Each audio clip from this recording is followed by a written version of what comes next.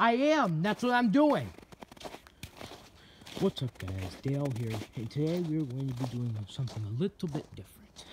And as you can see, it is not the best of weather outside. And we are not taking the John Deere out today. But I figured I'd make a vlog on this video just so that everybody can have some entertainment.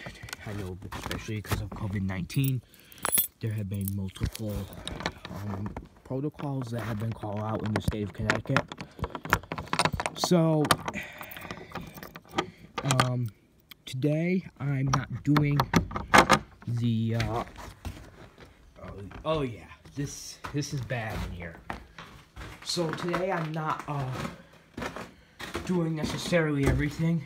Um, if you guys will, if you guys wait till towards the end of the vlog, you guys will see what I'm going to be doing. Alright everybody, so I just got the shovel out of my our shed here. Um, as you can see, the ramp is very slippery. see my grandfather's snowblower is covered in, uh, or you can see my snowblower here is covered in uh, snow. My Deere is not, because I don't use my Deere for anything during the winter.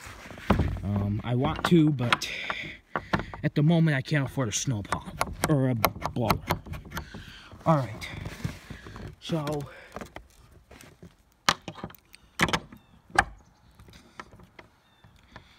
I got the, uh,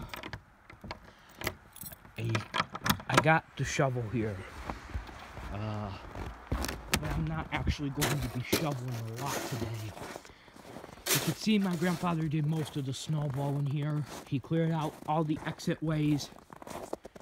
Uh, I am, uh, I'm just doing the, uh, usual rounds. Um, I'm going up to my grandfather right now. He's up on the wall. And, uh, going to be shoveling the icy stairs in front of our home. Now I'm just walking up the uh, icy side of the road. And it looks like we got a biggie right here.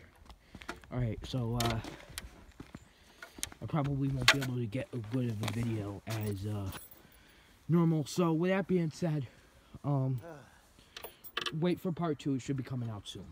Alright, stay tuned.